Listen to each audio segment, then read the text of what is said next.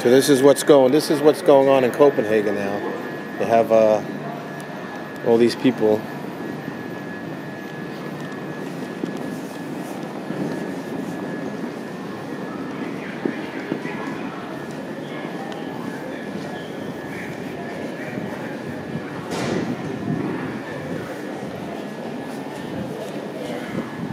You can see it.